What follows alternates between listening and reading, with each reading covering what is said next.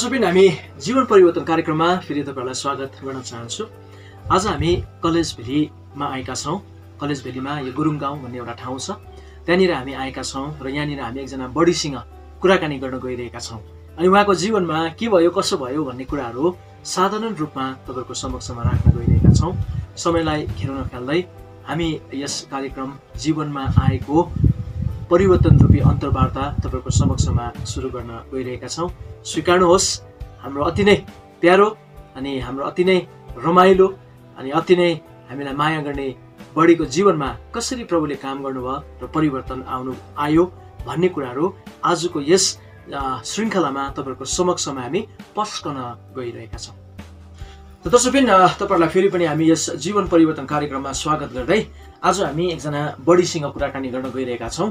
जसको जीवनमा धेरै प्रकारको उताउ चढावहरू आए अनि जब चाहिँ उहाँले यसु ख्रिस्टलाई विश्वास गर्नुभयो त्यहाँदेखि उहाँको जीवनमा अर्कै मोडहरू आए। तर त्यो नयाँ मोड आउनुभन्दा अगाडिको जीवन चाहिँ कस्तो थियो त भन्ने कुराहरू आज तपाईँहरूको समक्षमा यस जीवन परिवर्तन कार्यक्रम मार्फत हामी तपाईँहरूको समक्षमा राख्न गइरहेका छौँ। आशा गर्छौँ आजको यस साधारण जीवनमा आएको परिवर्तन रूपी अन्तर्वार्ताले तपाईँहरूको जीवनमा केही आशिष ल्याउने नै छ भन्ने हामी विश्वास गर्दछौँ। त सुरु गरौँ दर्शकबिन हाम्रो बडीको जीवनमा के के भयो कसो भयो अनि कुन प्रकारको मोडहरू आए अनि ती मोडहरू आइ वापत उहाँको जीवनमा कस्तो प्रकारको सुधार र परिवर्तनहरू आयो भन्ने कुराहरू हामी तपाईँहरूको समक्षमा यस जीवनमा आएको परिवर्तन रूपी अन्तर्वार्ता मार्फत आज राख्न गइरहेका छौँ। बढी हामी जीवन परिवर्तन कार्यक्रमको पक्षमा नि तपाईँलाई स्वागत गर्छौँ। जय मसी सन्चै हुनुहुन्छ? तपाईँको नाउँ नि नौरनको नाउँ है? के राखिदिनु भएको थियो आमा बाबाले? आमा बाउले खै नौरनको नाम त कलावती। हजुर। अन्त कलावती तपाईँको नाम है? अनि तपाईँ विवाह भएर हाम्रो बडासिंह विवाह भएर आइसकेपछि चाहिँ यो। गाउँको मान्छेहरूले अहिले तपाईँलाई के भनेर चिन्छ? अहिले चाहिँ अब त्यो कमानमा हिँडेको नामले गर्दा साइली रहनी भन्छ सबले। सानी नानी भन्छ है? बढी अन्त कमानमा कति वर्ष हिँड्नुभयो? म कमानमा उन्चालिस वर्ष। उन्चालिस वर्ष हिँड्नुभयो। है? यसो छ नि अब कमानको जीवन है। अब हामीले सुने अनुसार तपाईँको सन्तान पनि बेसी छोराछोरी पनि बेसी। है? अब बिहान कमानमा फेरि समयमा पुग्नु पर्ने कस्तो धाउ धाउ कस्तो हुन्थ्यो? नानी मेरो कोही बेला त अब पाक थिएन पनि। नखाइ नखाइ काँच काँचै बोकेर हिँड्थ्यौँ नि अब हो। अब नानीहरू पनि धेरै कोही बिमारी कोही के हो। अन्त कोही बेला खाएर हिँड्थ्यौँ कोही बेला नखाइ त्यस्तो थियो नि त कमानको चाहिँ। अनि अब कमानमा अब मेरो कतिजना मेरो मेरो दिदी है कमानमै अब बिहा हुनु भएको छ। मलाई कतिवटा कमानको कुरो थाहा छ। उनीहरूसँग म गएर बस्दै पहिला पहिला हामी कमानमा जाँदाखेरि त्यो झिक्रा भन्ने टिप्थ्यो नि त। हजुर। यहाँ चाहिँ टिप तपाईँहरूले नि टिप्थ्यो झिक्रा भन्ने। ल्याउनुहुन्थ्यो। है अनि त्यो पत्ती पुरा भएको टाइममा चाहिँ नि। कतिसम्म टिप्नुहुन्थ्यो पत्ती? कति केजीसम्म टिप्नुहुन्थ्यो? टिप्थ्यो नि पैँतालिस केजी हो। बाउन्न केजीहरूसम्म अँ, टिप्थ्यौँ नि तर अब केजीको चाहिँ कसरी दिन्थ्यो त्यति बेला हो त्यति याद छैन। आज भुलिसकेँ म त। तपाईँ पहिला कमानमा हिँड्दाखेरि नि त्यो कमानमा काम गर्दै गर्दाखेरि कति पाउनुहुन्थ्यो? रोज कति पाउनुहुन्थ्यो? रोज हामीलाई त्यति बेला चाहिँ हप्ताभरि हिँडेको चार सौ तिस रुपियाँ हुन्थ्यो। चार सौ तिस रुपियाँ दिन्थ्यो। हप्ताभरि? हप्ताभरि। छ दिनको? छ दिनको। अनि त्यति बेला रासिन पानीहरू पाउँथ्यो? हजुर पाउँथ्यो नि पाउँथ्यो है। अब कमानको चाहिँ कस्तो थियो त्यति बेला भन्दाखेरि घरहरू पनि बनाइदिन्थ्यो नि है। तपाईँहरूको घरहरू बनाइदिन्थ्यो? बनाइदिएको छ? दिन्थ्यो बनाइदिएको थियो है। अनि त्यति बेला अब कमानमा जाँदाखेरि त साथीभाइहरू हुन्छ रमाइलो हुन्छ है। अब काँचो काँचै भात खाए तापनि एक प्रकारको आनन्द। कस्तो लाग्थ्यो तपाईँलाई? हजुर। त्यही बेला त खोइ पास नानी शान्तै लाग्थ्यो नि अब लाग्नु त हो। अब त्यही त बल तागत पनि थियो। अन्त अब अहिले त्यस्तो अब यस्तो भिड अवस्था थिएन। हो त्यति बेला त अब कमानमा काम गरेर पनि झिक्रा बोकेर कोही बेला घाँस बोकेर आउँथ्यौँ घरमा। बेसी त म त नानीहरू बोकेरै हिँड्थेँ हो। पोखरोमा नानीहरू बोकेर। तपाईँ कमान जाँदाखेरि नानी पनि लगेर जानुहुन्थ्यो। लान्थेँ नि। त्यति बेला नानी हेर्ने चाहिँ को हुनुहुन्थ्यो त नानी हेर्ने गर्ने। अहिले खस्यो नि पल्लो गाउँमा दुईजना बुढी दिएको थियो दुईजना सानसानो छोकडा भन्ने केटीहरू दिएको थियो हो। अन्त हेर्ने पाउँथ्यो नि दुध दिन्थ्यो त्यति बेला। अब त्यति बेला तपाईँहरूले कमानमा काम गर्दाखेरि जस्तो अवस्था थियो नि हजुर। अहिले अब कमानको अवस्था चाहिँ तपाईँलाई देख्दा कस्तो लाग्छ? अबै बाँच्न नानी अहिले त म त त्यसै कोही बेला उहाँ परतिर दोकान उयो सानो केटा लगेर जान्छु कि। उताको चक्कर लाग्नेमा चक्कर लागेर अहिले त हो। खै अरू अरू अन्जुली यति लामो के के पलाएको छ भने चाहिँ म त जानु पनि सक्दिनँ। हो पर डाँडासम्म चाहिँ कोही बेला नानीले गर्दा। जान्छु नभए त म त जाँदिनँ नानी हेर्दिनँ पनि अहिले यहाँ बन्द छ है हजुर मन अहिले कमानमा धेरै प्रकारको गाह्रो साह्रो अवस्था छ है तर हामी यही आशा गर्छौँ कि यी सबै अवस्थाहरू एक दिन सुध्रेर आउनेछ राम्रो हुनेछ भनिकन हामी सुध्र यही आशा हामी गर्छौँ जीवन परिवर्तनको टोलीले प्रत्येक हाम्रो दार्जिलिङमा भएको हरेक टी गार्डनहरूको लागि प्रार्थना हामी गर्नेछौँ है। अनि सबै तपाईँहरूको अवस्थाहरू चाहिँ राम्रो भएर जानेछ भनिकन पनि हामी तपाईँहरूलाई उत्साह दिन चाहन्छौँ। अनि तपाईँले त्यो चार सौ तिस रुपियाँ चार सौ तिस रुपियाँ पाउनुहुन्थ्यो।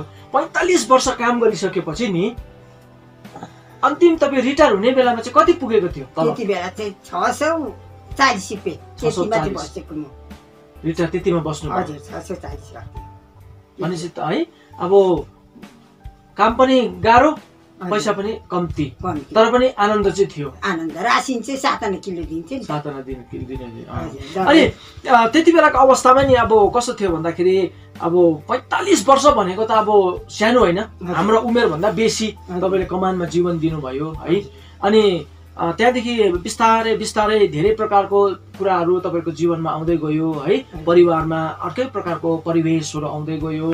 हामीले के सुन्यौँ भन्दाखेरि जब तपाईँको एउटा नानी भयो है पछिबाट त्यो नानी बिरामी भयो अरे अनि बिरामी भएर अस्पतालमा लानु भयो अरे नि त। त्यहाँदेखि चाहिँ के भयो? त्यहाँदेखि चाहिँ पास्टर नानी हस्पिटलमा लगेर गएँ घरबाट आउने कोही पनि थिएन पनि हो।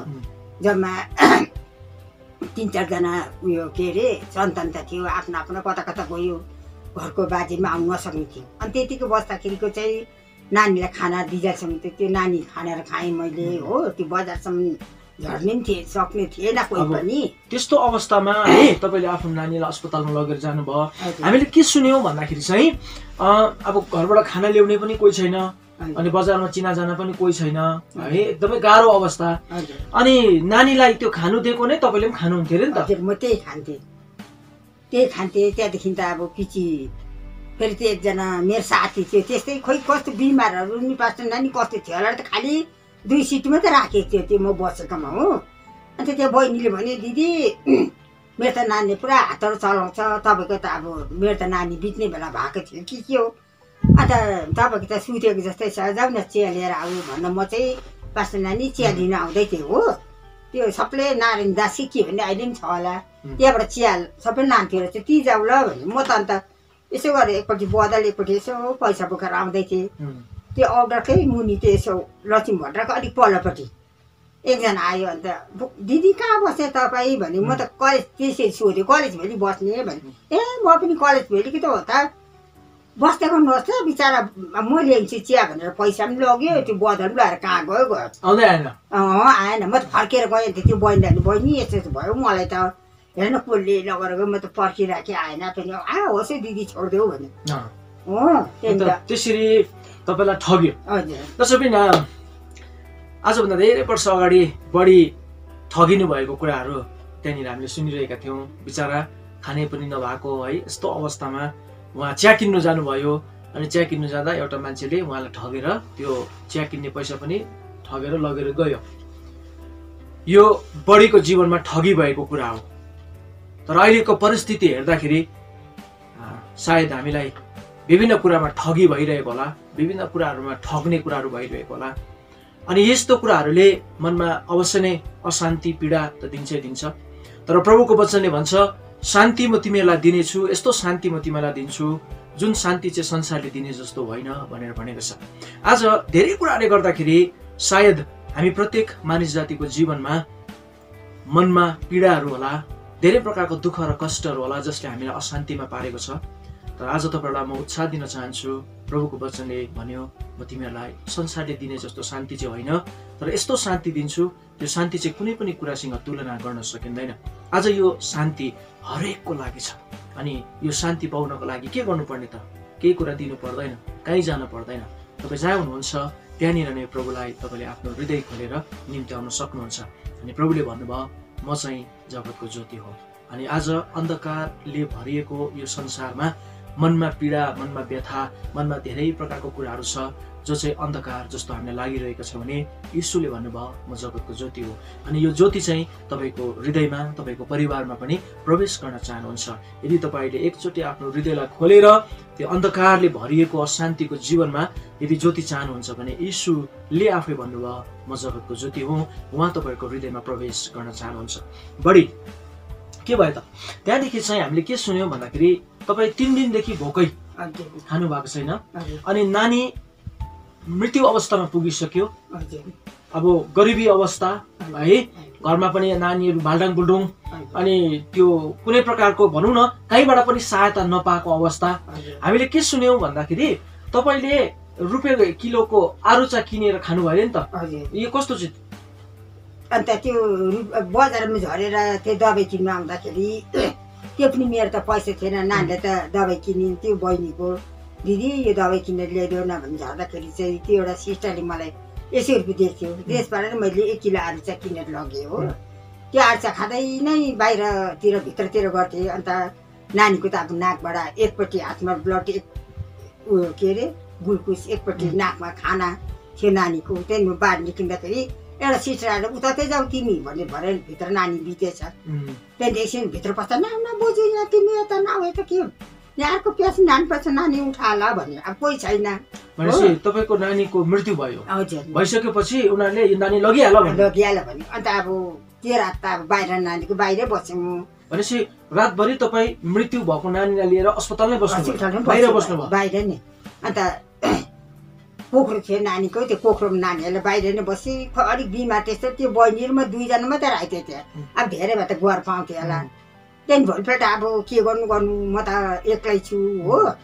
भोलिपल्ट जाँदाखेरि मेरो पारा कोक्रो सोक्रो पनि तिनै छोराखेरि नानी चेपेर बिहानको बसमा सिलगढी जाने बसमा ठिक्कै स्टार्ट भएर चाहिँ पसेँ डर पनि लाग्यो। अब के गर्नु म मलाई अब यस्तो त्यस्तो भन्यो भने त मेरो पैसा छैन। जेसी है भनेर चाहिँ म त्यो बसमा पसेँ। पुरा भजनहरू के के लागिरहेको थियो अन्त त्यतिको आएर रङ्गुलीमा चाहिँ धन्न त्यो सिसालेदेखि एक सय रुपियाँ चाहिँ पैसा थियो। मेरोमा कति थियो होला हौ अब बिस पच्चिस कति थियो। अन्त त्यो चाहिँ म त्यो ड्राइभर होस् होस् बुझ्नु नदेऊ जाऊ भन्यो। अन्त थपक्कै त्यहाँबाट झरे लडेँ पनि म त त्यहाँ अन्त एउटाले के भयो? नानी पो रहेछ त खोइ? भन्यो नेपालमा नबोलिकै नानी टिपेर। आउँदाखेरि चाहिँ माथि यहाँ तल मन्जिलको बोजू र परको गाउँले चाहिँ हेर्नु आउँदै रहेछ। आइतबार दिन परेको थियो। कहाँ किलो यो त यस्तो यस्तो भएर यसरी आउँदै रहेछ। भन भन्यो मलाई त। अन्त उनीहरूले नै नानी बोकेर म त अब उनीहरू त्यहाँदेखि चाहिँ उनीहरू कराउँदै आयो घरमा आउँदा त्यस्तै नै फेरि उनीहरूले त्यो नानीहरू दफन गरिदिनु हो। त्यहाँदेखि त मलाई त पास नानी त्यसको दुई दिन तिन दिनदेखि त कस्तो बिमार भेट्यो? डर लाग्ने केही सुन्नु नहुने खाएको पनि छैन खानु मनहरू पनि नलाग्ने कहाँ दिनु र के गर्नु भयो अन्त त्यहाँदेखि फेरि यो अघि एउटा भन्नु बिर्सेछु यो मजिलको बोजूहरूले डक्टर माथि डक्टर खडाकमा लग्यो ए लग्यो भने मतलब त्यो नानी बितिसकेपछि चाहिँ तपाईँलाई के भयो एउटा बिमारी सुरु भयो। त्यो बिमारीमा चाहिँ डर लाग्ने है। तपाईँलाई एकदमै सानो सानो कुराले डर लाग्ने अब भनौँ न अलिकति ठुल्ठुलो हावा आयो भने पनि तपाईँ डराउने मुटु काम्ने है। त्यस्तो अवस्थामा चाहिँ तपाईँको साथीहरूले डक्टरमा लग्यो। के भयो त्यहाँदेखि के भयो? त्यहाँदेखि चाहिँ के अरे डक्टर खाले भन्यो यो त पुरा ब्लडको उयो रहेछ। हो युरोपियन इन्जेक्सन लाउनुपर्छ भनेर चाहिँ एक सौ तिसवटा चाहिँ युरोपियन इन्जेक्सन उयो मन्जिलको बोजूले किनेर लिएर आयो। एक सौ तिसवटा इन्जेक्सन? हजुर त्यो लाउँदै थिएँ लाउँदै थिएँ लाउँदै थिएँ पर निस्किन्थ्यो जाँदा लाउँदै थिएँ तर डरले भागी भागी लागिन्थ्यो कि। अन्त एक सय तिसवटामा अब कति रहेको थियो बिस है कति रहँदाखेरि चाहिँ एउटा लाउँदा चाहिँ ओ त्यो दबाई पास नभयो के भएको पिलो भयो। हो खुट्टा यहाँनिर पिलो त बढी भयो कि। त्यहाँदेखि त झन् अब त्यस्तो भएकोमा त हिँड्नु पनि नहुने म त हो। अन्त ठुलो पिलो भएर त्यो पिलो फुटेर गयो त्यहाँ ड्रेसिङहरू चाहिँ अब यता किसमिसहरूको आएर गरिदियो हो। र पनि त्यो बिमारहरू त्यतिकै डर लाग्ने बिमार त अब नहटिने। हामीले के सुन्यौँ भने नि बढी हजुर। अब त्यो बिमार त त्यतिकै छ। हजुर। एक सौ तिसवटा इन्जेक्सन दिएकोमा बिसवटा लगाइसक्यो तर पनि इन्तुको चिन्तु केही छैन। है बिसको उन्नाइस केही पनि छैन। त्यहाँदेखि हामीले के सुनेका छौँ तपाईँको जीवनमा? बडो रोचक लाग्यो मलाई है सुन्दाखेरि। के भएछ भन्दाखेरि एकजनाले दबाई बतायो अरे नि त। ए अनि। तपाईँलाई दबाई बताउँदाखेरि चाहिँ दबाई चाहिँ अब के बतायो भन्दाखेरि चाहिँ दर्शकबिन कुनै डिस्पेन्सरीमा जानु नपर्ने है? कुनै त्यो दबाई दोकानमा गएर माग्नु नपर्ने डक्टरलाई पनि देखाउनु नपर्ने बडो अचम्मको दबाई उहाँले बताइदिनु भयो। अनि त्यही अचम्मको दबाईले चाहिँ उहाँको जीवनमा चाहिँ समस्या आयो। उहाँको परिवारमा समस्या आयो। अनि त्यो दबाई चाहिँ के थियो भन्दाखेरि चाहिँ उहाँले के भन्नुभयो अरे भने ए मेरो पनि फल्ला फल्ला यस्तै थियो। यो खाएकोदेखि यो सुरु गरेकोदेखि त सबै जाति भयो। भनेर भनेर नि त। अनि त्यो दबाईको नाम चाहिँ के थियो भन्दा दर्शकबिन एक पावा जाँडदेखि सुरु गर न भनेर क्या। त्यहाँदेखि अब तपाईँले त्यहाँदेखि जाँड खान थाल्नुभयो है? किनभने दबाई हो नि त। भनेर बताइदिएको छ। अब। आफू त जाति हुनुपर्छ है? अनि के भन्छ एउटा भनाइ छ नि मर्नुभन्दा त बलाउनु निको है? त्यस कारणले अब तपाईँले जाँड खानु सुरु गर्नुभयो। हामीले के सुन्यौँ भन्दाखेरि अब एक पावादेखि सुरु भयो। आधी केजी एक केजी बढ्दै बढ्दै गयो। अब जाँड मात्रै होइन रक्सी पनि पिउन थाल्नुभयो। हजुर। त्यहाँदेखि के भयो? त्यहाँदेखि चाहिँ अब घरमा अशान्ति पात्र नानी हो। एकछिन म बढीलाई रोकेर एउटा कुरो दर्शक पनि तपाईँहरूलाई बताउन होइन बताउन चाहन्छु। के छ भन्दाखेरि उहाँले के भन्नुभयो भन्दाखेरि चाहिँ त्यहाँदेखि त नि नानी घरमा अशान्ति भनेर भन्नुभयो। मैले त्यहाँ रोकेँ। किन रोकेँ भन्दा दर्शक बहिन आज हाम्रो एउटा मानसिकता के छ भन्दाखेरि चाहिँ दुःख परे आउने बित्तिकै हामी रक्सी खाने थाल्छौँ जाँड खान थाल्छौँ नाना प्रकारको कुराहरू खान थाल्छौँ। अहिले त दुःख पनि परिरहनु पर्दैन। हाम्रो धेरै जवान भाइ बहिनीहरू दुःख नपरिकन नै यो नराम्रो दुर्व्यसन एकदमै घिनलाग्दो कुराहरूको आदि भएर हिँडिरहेको छ। तपाईँलाई बताउन चाहन्छु परिवारमा आज झगडा परिवारमा आज अशान्ति परिवारमा एकदमै अनमेलको कुराहरू छ। किन? भन्दाखेरि चाहिँ जाँड रक्सीको कारणले गर्दाखेरि। नराम्रो कुरोको सेवनले गर्दाखेरि। दर्शकबिन आज यस्तै यस्तै परिवारहरू धेरै छ हाम्रो गाउँ समाजमा जुन समाजमा जुन परिवारहरू चाहिँ यही रक्सी यही जाडको कारणले गर्दा अशान्तिमा परिरहेको छ। थाहा छ दर्शकबिन एउटा बडो के भन्नु हाम्रो जातिको यो एउटा महानता नै भनौँ। जो चाहिँ नराम्रो लतमा डुबिरहेको हुन्छ कुरा चाहिँ उनीहरूकै ठुलो हुन्छ फेरि है। हाँस उड्दो कुराहरू। जसले खाइरहेको छ त्यही कुरा खाएर चाहिँ मान्छेहरू ठुल्ठुलो कुरा गरी हिँडिरहेको छ। आज म तपाईँहरूलाई जीवन परिवर्तन कार्यक्रमको मार्फत एउटा यो जनचेतनामूलक भनौँ सल्लाह दिन चाहन्छु। तपाईँले जुन कुराहरू सेवन गर्दै हुनुहुन्छ त्यो कुरो सेवन गरेकोमा तपाईँहरू आफैले आफूलाई भयङ्कर नसम्झिनुहोस्। थाहा छ तपाईँहरूलाई तपाईँले होइन तर तपाईँहरूलाई चाहिँ त्यो कुरोले सेवन गरिरहेको छ। अनि एक दिन यस्तो समय आउँछ जुन समय तपाईँहरूले कुनै पनि मौकै पाउनु हुँदैन। अनि त्यति बेला तपाईँको कारणले गर्दा तपाईँको परिवार तपाईँको छोराछोरी लथालिङ्ग भएको हुन्छ। जवान भाइ बहिनीलाई म भन्न चाहन्छु आज तिमीहरूले जुन प्रकारको कुराहरू सेवन गरेर मजा आइरहेको होला आफूले आफूलाई भयङ्कर सम्झिरहनु भएको होला तपाईँको कारणले गर्दा तपाईँको परिवारमा दुःख छ तपाईँको आमा तपाईँको बाबा कति रोइरहेको होला।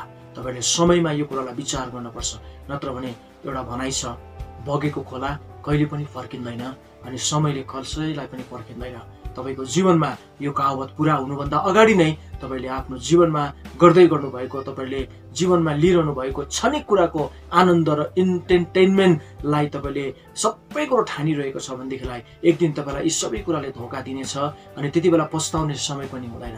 त्यस समय छँदा नै तपाईँहरूले यस कुराहरूलाई बुझ्नुहोस्। यो कुराहरूबाट तपाईँहरू छुटकारा हुनुहोस् अनि हामी तपाईँहरूको लागि प्रार्थना गर्नेछौँ। बढी त्यहाँदेखि के कुरा गरौँ भन्दाखेरि तपाईँले भन्नुभयो परिवारमा अशान्ति। अब कस्तो अशान्ति थियो? अशान्ति नि पास्टर नानी दुईजना खाने हो। बडाले पनि पिउनु दुईजना ऊ त झन् नाइट ड्युटी भन्थे झन् साह्रो तर म डराउने भने फेरि मैले छोड्नु नि त म नि किन खाएको हो? अन्त त्यहाँबाट त एक दिन त अब हाम्रो घरको बाउ त्यस्तै भएर आएर मेरो टाउकोमा काट्यो। हो? हामीले के सुन्यौँ भने अब तपाईँले बोल्दा बोल्दै है तपाईँलाई रोक्दैछु त्यहाँदेखि चाहिँ अब यस्तो सुरु भयो अरे नि त अब रक्सी खानु थालेपछि अब यो कुरो हामीले विचार गर्नुपर्छ है। घरको बाबा त माथ्यो माथ्यो आमा पनि माथिन थालेपछि चाहिँ त्यो घर चाहिँ लत्थालिङ्गै भएर जान्छ भन्ने एउटा है। एउटा एउटा के भन्नु एउटा सत्य कुरो छ। ठिक कुरो हो हामीले देखेका छौँ।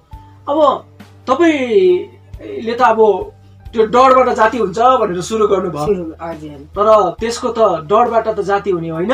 तर अझै बेसी परिवार समस्यामा पर्यो। है? अनि बाबाले त खानुहुन्थ्यो नै हुन्थ्यो बडाले है? अनि तपाईँले पनि सुरु गर्नुभयो। अनि यस्तो उयो भएन। तपाईँलाई हेरेर बडाले हे के भएको? हामी यस्तो गर्नु हुँदैन। हामी नखाउँ भनेर कहिले तपाईँहरूको बिचमा सरसल्लाह भएन? कहिले हुन्थेन। अब हो नि ऊ बेसी खाने कि म खाने? तर बिचरा नानीहरू अशान्ति हो। हामीले सुन्यौँ धेरैचोटि तपाईँको नानीहरू भोक भोकै सुतेको छ। हजुर। यो के भएर?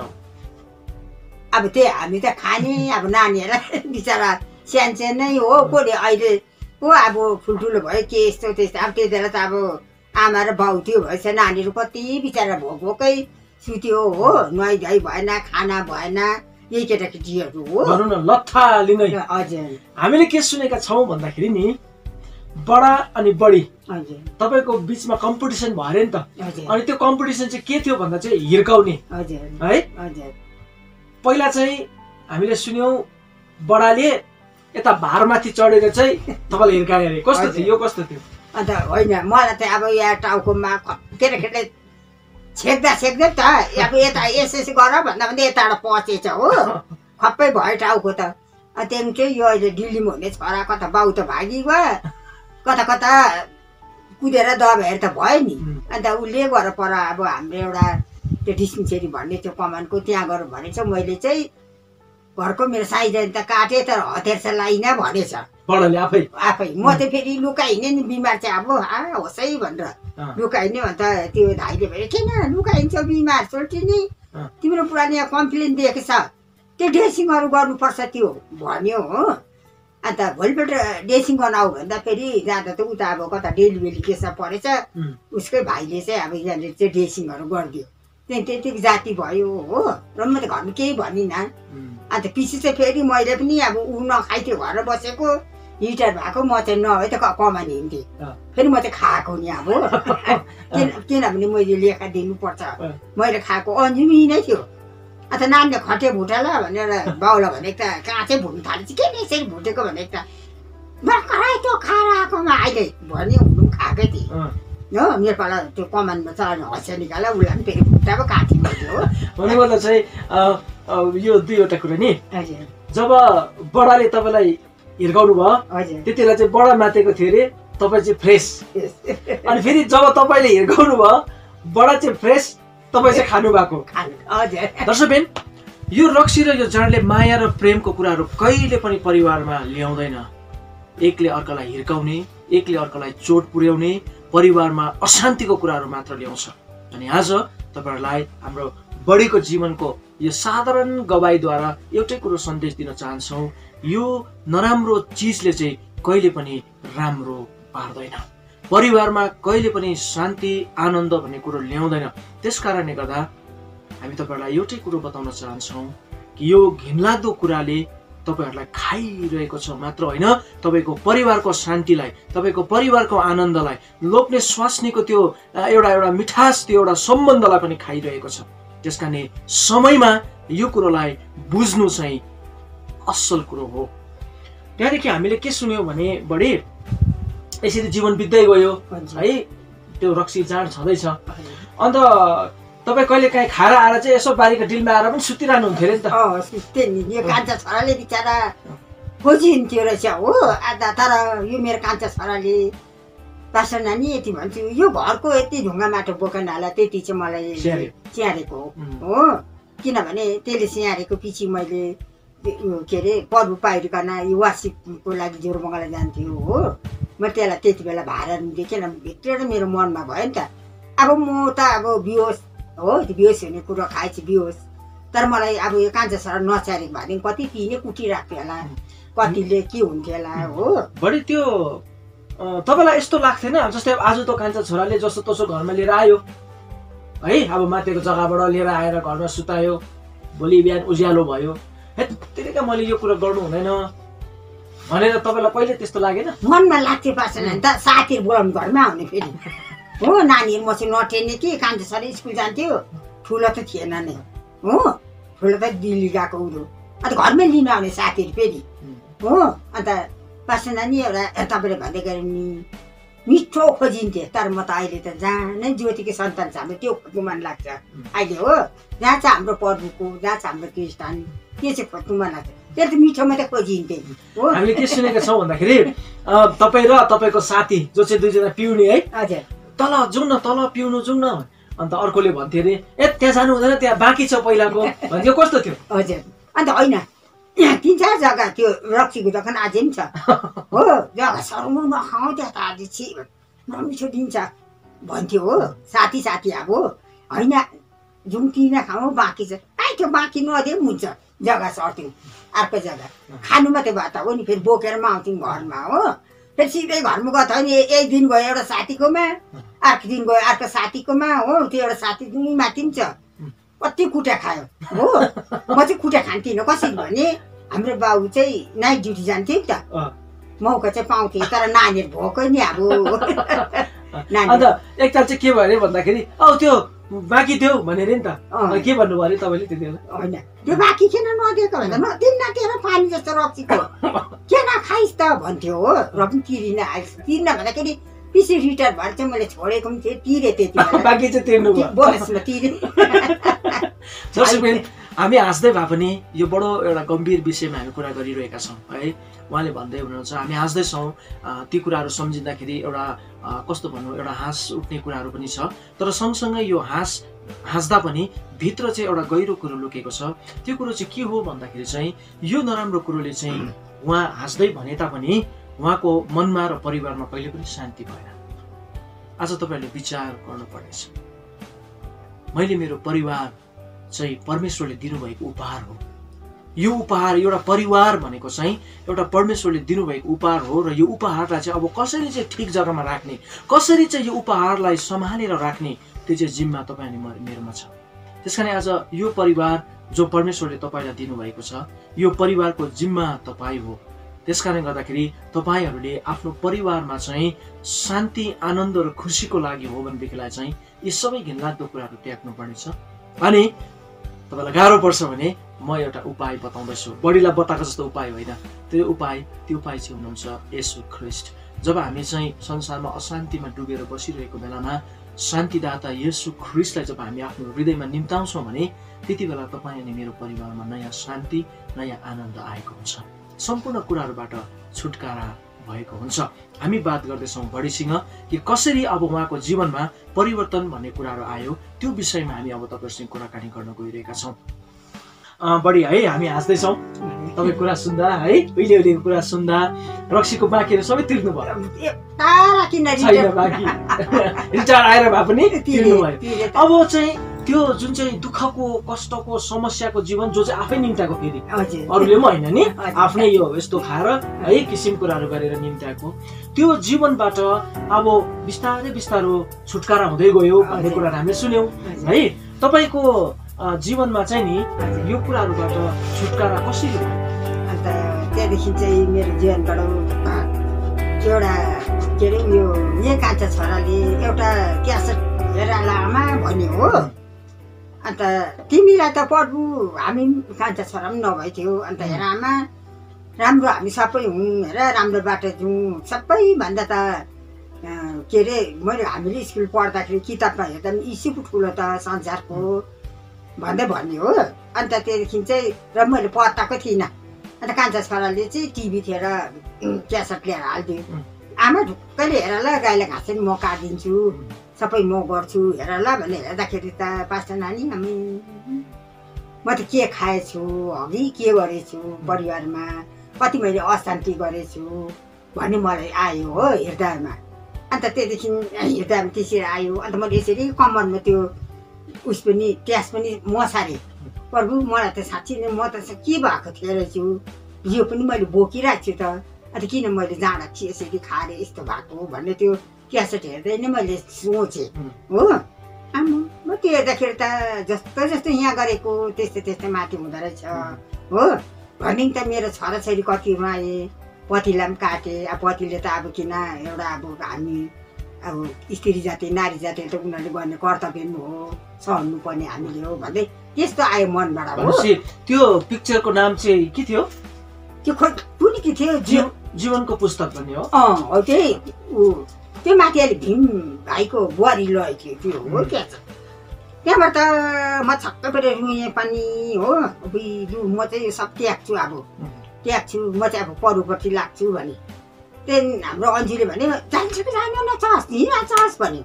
आइतबार पर्थ्यो चर्च गएँ। त्यहाँदेखि चर्च गएर यो के अरे उस त्यो मैले बोकिनेको क्यास पनि भीम भाइलाई दिएँ। अन्त उनीहरूले हात बाँधेर भने "ए दिदी आजदेखि हाम्रो भने म पुरा रुएँ पनि हो। अन्त त्यो एक दिन चाहिँ पास नानी परमेश्वरले मलाई कस्तो गरेको थियो पनि ठुलो मेरो गल्ती थियो। त्यो चसवटाले माथेर झर्दाखेरि चाहिँ के को चस हौ यो के भन्दाखेरि पछि मैले पढ्नु पर्ने यत्रो गाँठो भएको थियो यहाँ। मुखमा नानी मेरो हो यत्रो सोचे के होला भने। अन्त मनोज ए मनोज मेरो यस्तो यस्तो भयो भन्यो हो। होइन खाइन्छ भन्यो। तर होइन रहेछ नि। हो मैले परमेश्वरलाई त्यस्तो गरेको थिएँ। उसलाई पछि मैले पाएर गरेको आफै हराएको फेरि। ला म त अब काट्ने रहेछ के के सोचेँ? म त्यति चाहिँ भनेको थिएँ। माथि मलाई थाहा थियो। तपाईँ मातेर है त्यतिलाई हेर्ने। पनि उहाँले भन्नुभयो त्यो भन्दाखेरि उहाँ गाँठो निस्क्यो भन्ने कुराहरू भयो। त्यो एउटा फिजिकल्ली नमिलेको कुरा थियो केही प्रकारले एउटा घाउ त्यहाँनिर भयो किनभने परमेश्वर चाहिँ माया गर्ने परमेश्वर हो मार्ने र दण्ड दिने परमेश्वर चाहिँ होइन। त्यस कारणले गर्दा तपाईँहरूलाई बताउन चाहन्छु यहाँनिर हाम्रो बडीले जुन कुराहरू बताउनु भएको छ तपाईँहरूलाई उहाँले एउटा जीवनको पुस्तक भन्ने किताब के अरे पिक्चर हेर्नुभयो अरे नि त नि। एउटा टेलिफिल्म हेर्नुभयो अनि त्यो हेर्दाखेरि त्यो त्यो त्यो फिल्मभित्र बताइएको देखिएको दृश्यहरूले चाहिँ हाम्रो बडीको हृदयमा त्यो सबै मैले गरेको गल्तीहरू रहेछ भुल रहेछ मैले त नराम्रो काम गरिरहेको रहेछु भन्ने त्यहाँनिर हेर्दै गर्दाखेरि उहाँलाई आफ्नो मनमा चाहिँ अनुभव भयो। अनि उहाँलाई कसैले कर लगाएर जबरजस्ती पैसा दियो भन्छ नि त्यो गरेर कुनै के दिएर चाहिँ उहाँले आफ्नो जीवनमा परिवर्तन चाहेको होइन। तर उहाँले साँचो रूपमा आफ्नो गल्तीलाई स्वीकार गर्नुभयो अनि उहाँले जीवनदाता मुक्तिदाता जो चाहिँ कलवरी क्रुसमा तपाईँ अनि मेरो पापको लागि आफूलाई बलिदान गर्ने यसो चाहिँ मेरो पापको लागि संसारमा आउनुभएको रहेछ। अनि जब म उहाँलाई विश्वास गर्छु विश्वास गरिसकेपछि चाहिँ मैले गरिरहेको सबै गल्तीहरूबाट म पस्ता पस्ताउँछु मात्रै होइन तर पश्चाताप गर्छु भनेर जब उहाँले सबै त्यो जीवनको पुस्तक भन्ने चलचित्र हेरिसकेपछि उहाँले यी सबै कुरा आफ्नो हृदयमा महसुस गर्नुभयो। अनि महसुस गरिसकेपछि कसैको करकापमा होइन कसैले जबरजस्ती गरेर होइन लोभमा र प्रलोभनमा पारेर होइन तर उहाँले आफै बुझेको कारणले गर्दा त्यहाँदेखि उपरान्त उहाँले प्रभुलाई विश्वास गर्न थाल्नुभयो हजुर। अनि त्यहाँदेखि बिस्तारै हामीले के सुन्यौँ भन्दाखेरि चाहिँ तपाईँले अघि पनि भनिहाल्नुभयो है म चर्चमा गएँ अनि एल्डर बाबुहरूले प्रार्थना गर्नुभयो अनि सबै कुराहरूबाट छुटकारा हुँदै गयो। अनि प्रभुमा आइसकेर पनि बडो एउटा रोचक कुरो हामीले के सुन्यौँ भन्दाखेरि चाहिँ तपाईँले खैनी चाहिँ खाइरहनु भएको थियो अरे नि। हजुर। त्यसको छुटकारा चाहिँ कसरी भयो? अन्त त्यो मन त परेको थिएन पर्नु त मलाई खैनी खानु त हो। छोड्छु छोड्छु म चाहिँ भन्दै थिएँ। अन्त त्यो अन्जुलाई एक डोको गोगल त्यो घाँस ल्याइदिएँ। र नि यहाँ तल काट्नु जानु पर्यो भने होइन हौ म त प्रार्थना गर्छु भने। त्यति मलाई प्रार्थना गर्नु थिएन त्यति बेला. अहिले त परमेश्वरले मलाई आक्षेप दिएको छ प्रार्थना गर्नु र नि म सबै त सक्दिनँ हो। अन्त थपक घाँस काट्दै थिएँ कि थपक्कै डोको राखेर के अरे हँसियार फ्याँकेर प्रार्थना गरेँ। यतापट्टि के पास्ने भने सल्लाह यस्तै सेतो हौ। सल्लाह के झरे जस्तो लाग्यो मलाई त। के होला नि भने. प्रार्थना गरेँ। चाहिँ अलिक तल डोको साह्रो बाटोको छेउमा त्यो पुल पनि थियो एउटा त्यहाँ लगेँ। त्यहाँ लगेर सट्टै खै निकालेर यसो गरेँ. हो होइन। मैले सोचेँ मनमै. ए बाबा रे म चर्च पनि जान्छु। हामीले चाहिँ परमेश्वरको चोखो बेदी भन्ने यसो गर्छौँ। अन्त यहाँ चाहिँ म अब यसो गरेर चाहिँ कति चराचुरुङ्गी परमेश्वरको महिमा गर्दै होला। हामीले बाटो बुझ्दैनौँ हो। उनीहरू कस्तो कस्तो परमेश्वरलाई भाषाबाट उनीहरूले गर्दै होला। अन्त यो खैनी यसो गरेर यसो पड्काएपछि त उनीहरू पनि त्यो महिमा गर्नु छोड्यो यो चाहिँ म खाँदिनँ भनेर चाहिँ मैले यसरी के हो? डल्लै लाटाले यसो गरेर के खानु मन लागेन मलाई। त्यसरी छोडेँ हो। त्यो जाँडासिम त्यो जीवनको पुस्तक हेरेकोदेखि मैले सबै परिवारमा अशान्ति काटाकाट मारामार होइन। अहिले त हाम्रो परमेश्वरले कति हामीलाई है शान्त दिएको छ। त्यस्तो थिएन नि त। हो त्यो पनि सबै पास्नु नि त्यहाँ देख्छु म अहिले। हो। दर्शकबिन इसाई दाजुभाइ दिदीबहिनीहरूलाई बताउन चाहन्छु। बडीले साधारण रूपमा भन्नुभयो यसो गर्ने हातले परमेश्वरको महिमा गर्ने हातले फेरि यसो कसरी गर्नु? भन्ने कुराहरू। हजुर। आज सायद धेरैजना यस्तो हुनुहुन्छ होला। अनि आज तपाईँहरूलाई इन्करेज गर्न चाहन्छु यस्तो गर्ने हातले परमेश्वरलाई नै महिमा दिनुहोस्। परमेश्वरको नै प्रशंसा भएको होस्। जसरी बडीले ती सबै लतहरूबाट छुटकारा पाउनुभयो आज प्रार्थना गर्नुहोस् तपाईँको लागि पनि यो छुटकारा छ। त्यहाँदेखि उपरान्त बढी हामीले के सुन्यौँ भन्दाखेरि चाहिँ अब जब प्रभुमा तपाईँहरू आउनुभयो बडाले पनि प्रभुलाई विश्वास गर्नुभयो। हिजोसम्म गर्जिरहने बडा आज प्रभुमा आइसकेपछि यति साह्रो परिवर्तन हुनुभयो। शान्त बडा हुनुभयो। अनि हिजोसम्म रन्थनी हिँड्ने बढी जब प्रभुलाई विश्वास गर्नुभयो तब अरूलाई हँसाउने अरूलाई खुसी पार्ने बढी भएर आजसम्म यहाँनिर हुनुहुन्छ। है त्यहाँदेखि उपरान्त तपाईँले जब प्रभुलाई विश्वास गरिसक्नुभयो नि। आफ्नो पापलाई स्वीकार गरेर मुक्तिदाता भनेर प्रभुलाई स्वीकार गरिसकेपछि त्यहाँदेखि चाहिँ तपाईँको जीवनमा कस्तो कुराहरू भयो? त्यहाँदेखि त पास नानी मेरो जीवनमा त एकदम अब राम्रो नि हो। नानीहरूलाई राम्रो गरी बोलाउनु मन लाग्ने हो। नानीहरूलाई प्रेम गर्नु मन लाग्ने न त रिस मात्रै उठिने नि। हो पर्व पारौँ कुन त। रिस उठ्ने हो कहाँ हो के हो जस्तो लाग्थ्यो. तर अहिले त होइन। हामीले अब वचनमै छ एक क्षमा दिन नसक्ने एक नम्रता हुन नसक्ने भन्ने त वचन सुनेको छु मैले होइन? अन्त अहिले त अब म साँच्ची नै त्यहाँदेखि चाहिँ मैले पढु पाएकोले त सबले नानीहरूले माया गर्न थाल्यो। पास्टर नानी यसरी मिलेर यस्तो भएर बस्दैन पनि होला। आफ्नो आमा माथि कसले मन पराउँथेर है? यस्तो मेरो घिनलाग्दो दलदलेको जीवन थियो। अहिले हेर्नुहोस् त अब आफ्नो आफ्नो पैसा यिनीहरूले कमाइ गरेर घरहरू बनाए पनि।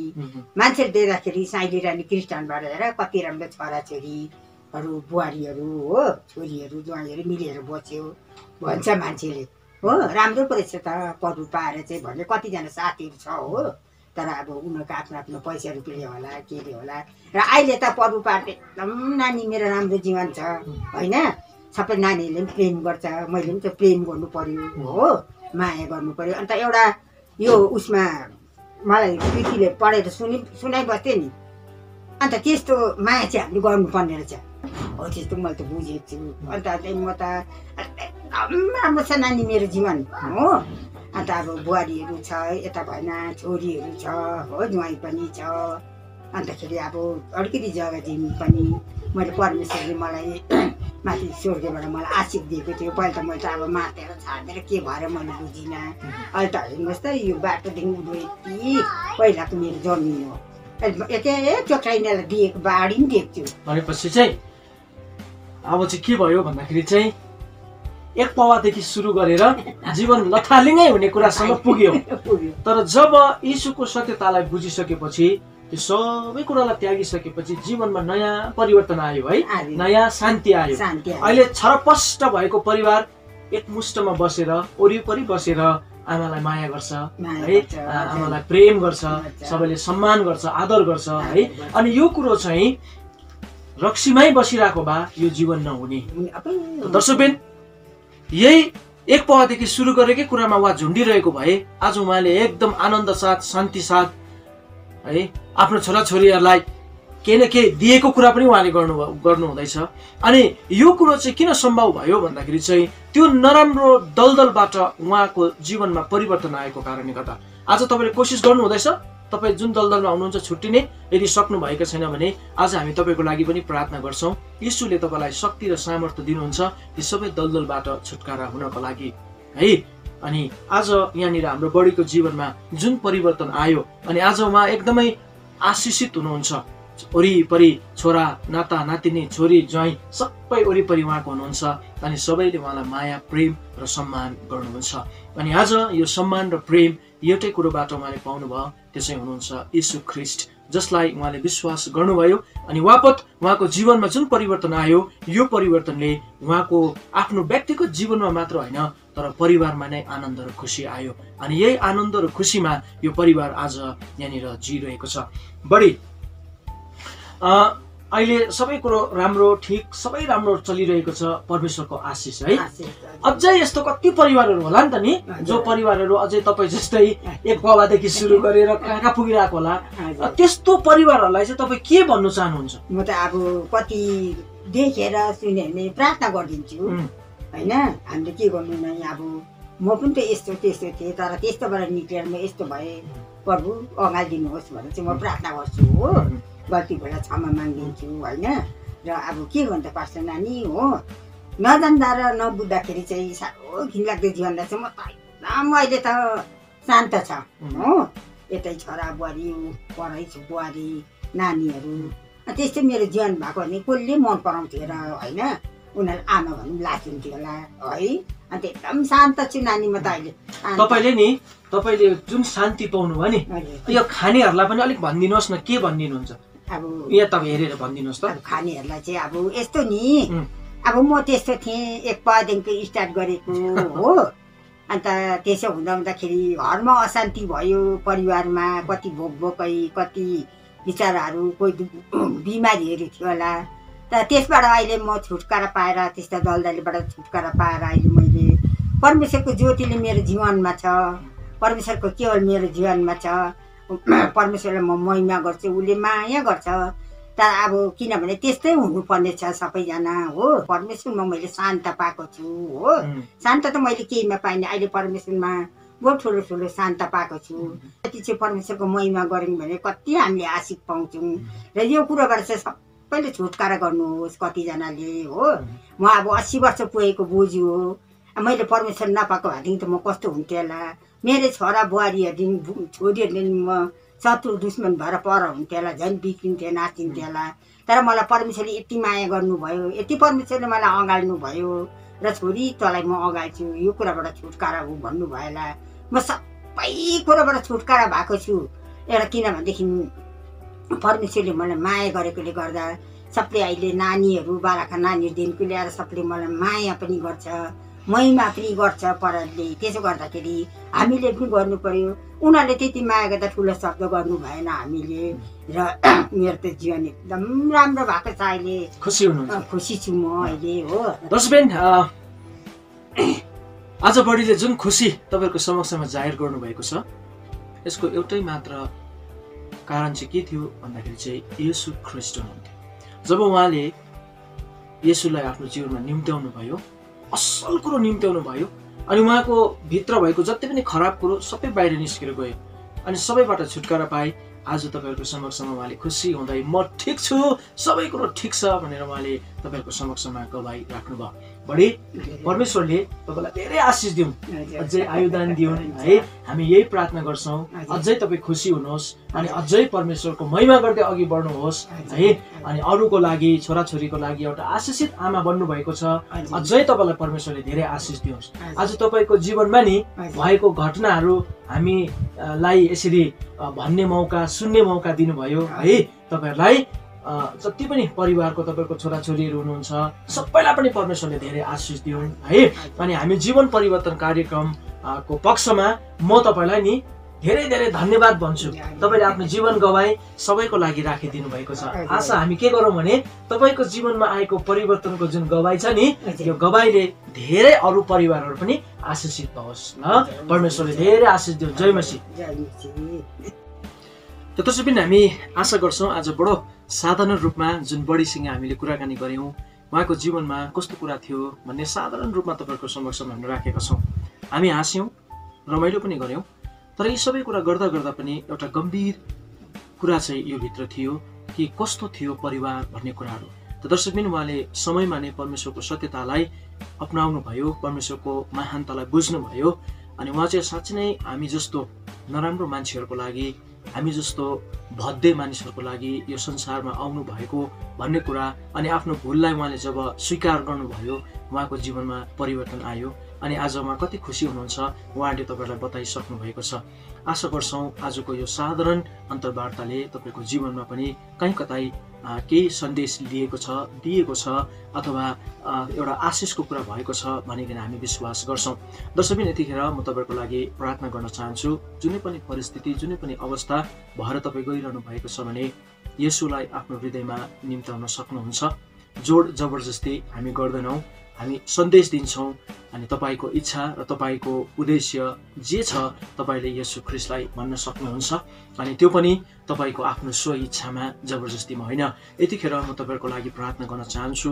यदि तपाईँ साँचो हृदयले उहाँसँग प्रार्थना गर्नुहुन्छ भनेदेखिलाई आफ्नो मनको कुरा आफ्नो व्यथा र आफ्नो समस्याहरू उहाँमा राख्नुहुन्छ भने अवश्य नै उहाँले ती सबै समस्याहरूबाट ती अप्ठ्यारो परिस्थितिहरूबाट निकाल्ने उपाय उहाँले अवश्य नै तपाईँको लागि रच्नुहुनेछ उहाँले दिनुहुनेछ। म तपाईँहरूको लागि प्रार्थना गर्न चाहन्छु। प्रभु तपाईँलाई धन्यवाद। आज हाम्रो बडीको जीवनमा तपाईँले जुन परिवर्तन दिनुभयो यो परिवर्तन चाहिँ आज हाम्रो पहाडमा धेरै परिवारमा चाहिएको छ। तपाईँले नै हरेक जो अशान्तिमा समस्यामा चिन्तामा फिक्रीमा अभावमा घटीकमीमा खाँचोमा जिरहेको परिवारहरू अशान्तिमा जिरहेको परिवारहरूमा प्रभु तपाईँले शान्ति आनन्द दिनुहोस् अनि ती परिवारहरूमा पनि यस्तो परिवर्तन दिनुहोस् ताकि उहाँहरू खुसी हुँदै तपाईँलाई महिमा दिन सकोस्। जति पनि रोगी बिमारी अवस्थामा हुनुहुन्छ भने तपाईँले चङ्गाई दिनुहोस् स्वास्थ्य दिनुहोस्। जति नराम्रो लत र आदतमा डुबेको हाम्रो पहाडमा परिवारहरू छ जवान भाइ बहिनीहरू छ कति परिवारमा बाबु होला कति परिवारमा आमाहरू होला ती सबैजनालाई प्रभु तपाईँले छुटकारा दिनुहोस् अनि तपाईँको महिमा भएको होस्। धन्यवाद आजको दिन हामी आइकन प्रभु तपाईँले उहाँको जीवनमा गर्नुभएको असल कुरालाई सुन्न पायौँ। अब धेरैजनाले प्रभु यो कुरा सुन्नु भएको छ। उहाँहरूको जीवनमा तपाईँले आशिष दिनुहोस्। हाम्रो पहाडमा प्रभु तपाईँले शान्ति दिनुहोस् आनन्द दिनुहोस् आशिष दिनुहोस् प्रभु हाम्रो पहाडलाई। झैझगडा अशान्ति हुनदेखि तपाईँले जोगाउनुहोस् र सम्पूर्ण कुराले तपाईँ परमेश्वरलाई नै महिमा पुगेको होस्। बिन्ती माग्छु यीशु तपाईँको नाउँमा। आमेन र दर्शकबिन आशा गर्छौँ तपाईँहरूले जीवन परिवर्तन कार्यक्रमलाई निरन्तरता दिइरहनु भएको छ हेरिरहनु भएको छ भन्ने कुराहरू। अनि धेरैजनालाई हामी धन्यवाद भन्न चाहन्छौँ कि तपाईँहरूको सहायता तपाईँहरूको प्रार्थनाको सहयोगले हामी यहाँसम्म आइपुग्न सक्यौँ। परमेश्वरलाई धन्यवाद होस्। तपाईँहरूलाई पनि परमेश्वरले धेरै आशिष दिउन्। हवस् त म पास्टर प्रहलाद तिङमा क्यामेराम्यान रमेश पोर्टेल एडिटर भुवन लिम्बूलाई बिदा दिनुहोस्। अर्को हप्ता फेरि पनि हामी यस्तै आशिषमय कुराहरू तपाईँहरूको समक्षमा लिएर आउनेछौँ। तबसम्म परमेश्वरले तपाईँहरू सबैजनालाई सुरक्षा दिउन् शान्ति दिउन् आनन्द दिउन् गलत कुरो के अनि सत्य के बुझ्ने ज्ञान र बुद्धि दिउन्। परमेश्वरको महिमा होस्। तपाईँहरू सबैजनालाई परमेश्वरले धेरै धेरै आशिष दिउन्। जय।